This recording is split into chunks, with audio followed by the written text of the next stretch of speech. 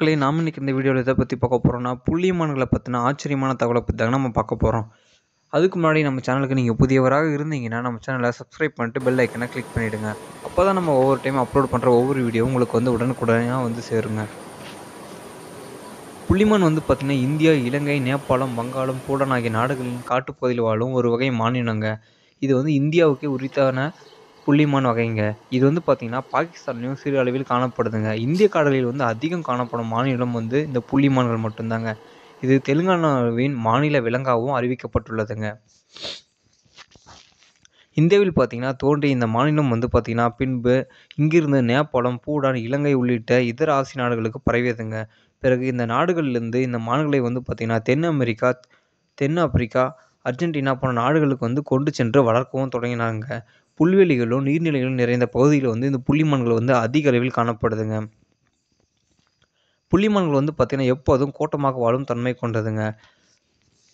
புலிமான்கள் வந்து பார்த்திங்கன்னா சமூக விலங்குன்னு என்று அழைக்கப்படுதுங்க. புலி சிங்கம் போன்ற வேட்டை விலங்குகளின் முக்கிய உணவாக இந்த புள்ளிமான்கள் இருப்பதால் இவை எப்போதுமே எச்சரிக்கை உணர்வுடன் இருக்குங்க.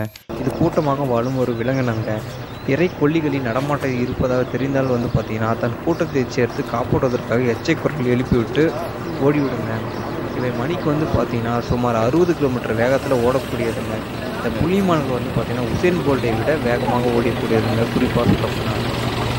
இதன் தோல் வந்து பார்த்திங்கன்னா பழுப்பு நிறத்தில் வெள்ளை புலியுடன் காணப்படுது இதன் காரணமாகவே இது புலிமான் என்று அழைக்கக்கூடியது.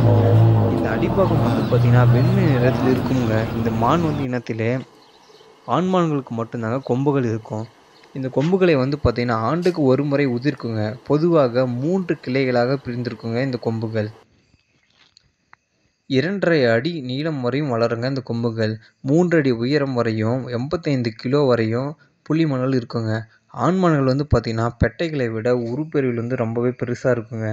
இது பார்த்திங்கன்னா எட்டுலேருந்து பதினாலு ஆண்டுகள் வரையும் உயிர் வாழும் தன்மை கொண்டதுங்க.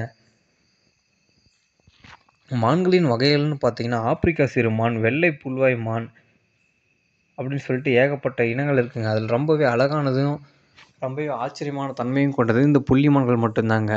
ஒரு மாநிலத்துக்கே விலங்காக அறிவிக்கப்பட்டிருந்தால் ஒரு மாநில விலங்காக அறிவிக்கப்பட்டிருக்குதுன்னா அது தெலுங்கானாவுக்கு மட்டும்தாங்க. அதுவும் புள்ளிங்கன் புள்ளிமான்கள் மட்டும்தாங்க இப்படி அறிவிக்கப்பட்டுள்ளது.